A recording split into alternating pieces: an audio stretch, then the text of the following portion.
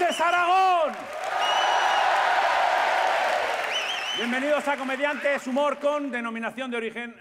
Bueno, el programa de hoy lo vamos a dedicar a uno de nuestros aragoneses más ilustres, Francisco de Goya y Lucientes. ¿eh? Como bien es sabido para todos, Goya nació en la localidad de Fuendetodos. ¿eh? Lo primero que llama la atención cuando visita su casa natal es que Goya debía ser un niño pues, muy formalico. Sí, porque si no nos explica que en su casa no hay ni una pared pintarrajeada, que es lo suyo. Yo estuve allí y me quedé loco, no había nada pintado. Yo en mi casa dejé a los críos, ¿eh? a unos sobrinos míos, unos lápices, bueno, al momento tenía en la pared a Pepa Pig, a Papá Pig, a Mamá Pig, hasta unos cuñados Pig tenía allí, que habían venido a pasar el puente. Madre mía. Bueno, fijaos cómo sería, ¿eh? que cuando hice reformas en casa, más que estar de obras, parecía que estaba amor de matanza. Estoy de cerdos por ahí, hombre. Bueno, el seguro... Gracias.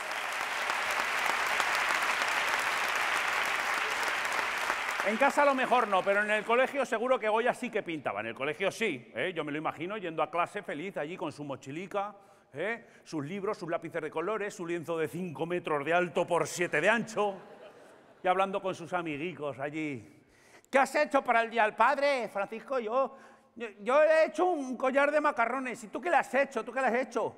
Pues yo le he pintado a la familia de Carlos V en una tarde de cacería, mientras al fondo pues no se ve al pueblo acuciado por el hambre, simbólicamente, claro, está ensombrecido allí al fondo con el Palacio Real, al que no le falta un detallico, ¿eh?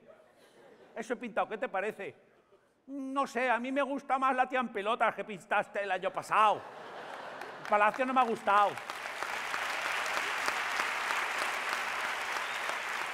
La tía en pelotas, la pelotas que pintó el año pasado era la maja desnuda, que tenía maja desnuda y vestida. ¿eh? Hoy en día no se harían igual. ¿Por qué? Porque la maja vestida pues se la haría ella misma, ¿eh? no se pintaría ella misma, que para qué quiera Goya, si se puede hacer ella misma una, una foto con el móvil así. Y bueno, la maja desnuda tampoco le va a pintar Goya. Seguramente se encargaría el interview y lo sacaría un lunes. Ahí está. Muy bien. Bueno, dicen que Goya... Dicen que Goya era un pintor muy rápido, mucho, pim pom, pim pom. Bueno, una muestra de su rapidez es su cuadro de los fusilamientos del 2 de mayo. Anda, que no hay que ser rápido para poder pintar unos fusilamientos, ¿eh? sin que se te escape detalle.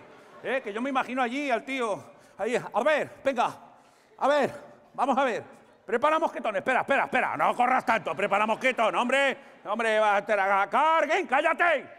Hombre, espérate un poco, que estoy pintando a estos, al de la camisa blanca. Espera, espera. ¡Fuego! ¿Cómo que fuego? ¡Para! ¡Bum! ¡Hala!